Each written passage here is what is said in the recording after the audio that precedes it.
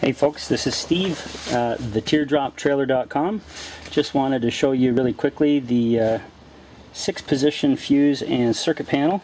It uh, accepts blade type ATC style fuses. That's these little guys here. Um, you'll see there's actually the six holes.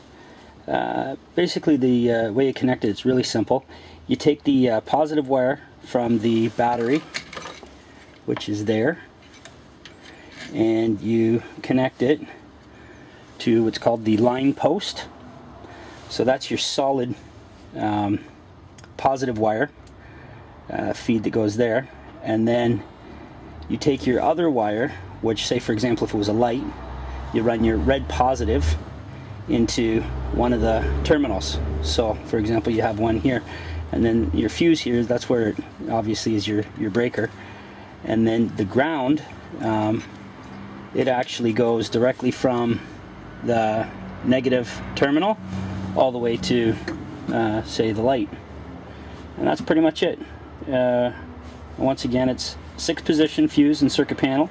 You can pick these up at uh, Princess Auto. I think they're around $15 um, and uh, again it's the ATC ATP style fuses